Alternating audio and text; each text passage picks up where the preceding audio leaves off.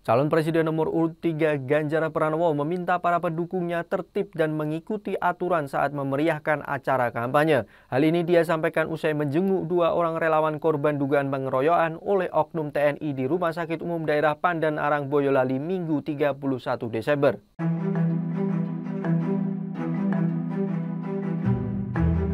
Adapun dugaan pengeroyokan itu terjadi di depan markas Kompi B Yonif Rider 408 SBH Jalan Perintis Kemerdekaan Boyolali pada Sabtu 30 Desember.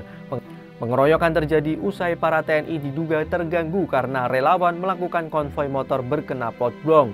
Diketahui para relawan itu sempat memeriahkan acara kampanye Ganjar di Boyolali sejak pagi kemarin.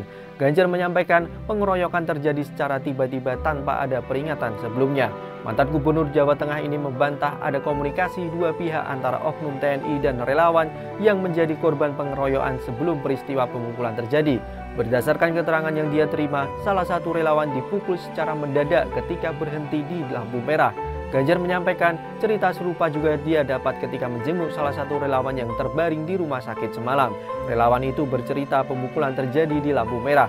Bahkan relawan tersebut sempat ditarik ke dalam lingkungan markas oleh oknum TNI. Lebih lanjut, Ganjar menyatakan pihaknya akan menanggung seluruh biaya rumah sakit korban. Terkait masalah hukumnya, dia berharap oknum tersebut dapat diadili sesuai ketentuan yang berlaku. Mantan Gubernur Jawa Tengah ini mengaku telah menghubungi Panglima TNI Agus Subianto, Kepala Staf Angkatan Darat Maruli Simanjuntak, hingga Panglima Kodam agar kasusnya diperhatikan. Ikuti update terbaru dari sosial media Tribun Jateng. Download Tribun X sekarang. Menghadirkan lokal menjadi Indonesia.